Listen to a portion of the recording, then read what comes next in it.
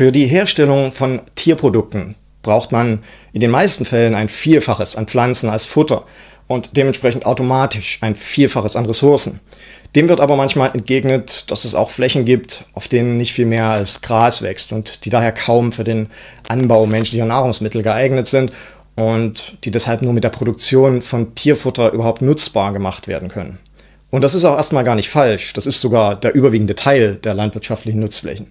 Man spricht dabei meist von Grünland. Das ist von Menschen geprägtes Grasland, welches beispielsweise als Weiden oder Mähwiesen genutzt wird. In der Praxis bringt das aber eine ganze Reihe Nachteile und Probleme mit sich, selbst wenn man das unnötige Töten von Tieren nicht dazu zählen sollte. Und tatsächlich ist es auch global gesehen sogar viel eher ein Argument gegen die Tierhaltung. Zur Rechtfertigung des deutschen Fleischkonsums ist dieses Argument zunächst mal schon gar nicht geeignet. Denn abgesehen von Hochweiden im Hochland ist das in Deutschland genutzte Weideland fast nur anthropogenes Grünland. 90 Prozent des deutschen Grünlands ist nicht natürlichen Ursprungs und bestand vorher mal aus wertvollen, artenreichen Biotopen wie Mooren und Wäldern, die im Gegensatz zur Beweidung der Flächen positiv auf das Klima wirken und die nicht zuletzt aufgrund des hohen Flächenverbrauchs der heutigen Nutztierhaltung überhaupt erst verschwanden. Man hat sogenannte Primärwälder gerodet, um sie landwirtschaftlich zu nutzen, mit üblen Folgen fürs Klima durch Kohlenstofffreisetzung und die schädlichen Treibhausgase aus der Tierhaltung beispielsweise.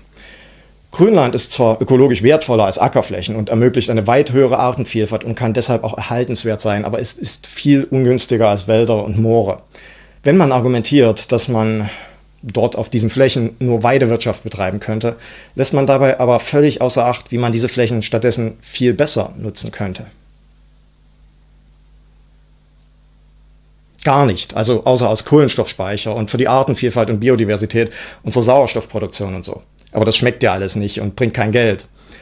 Wenn man diese Flächen sich selbst überlässt oder etwas nachhilft, werden mittelfristig wieder ursprüngliche Wälder entstehen, die auch weit größere Kohlenstoffsenken darstellen. Das Argument, dass da nichts anderes wächst, stimmt hierzulande in den meisten Fällen nicht.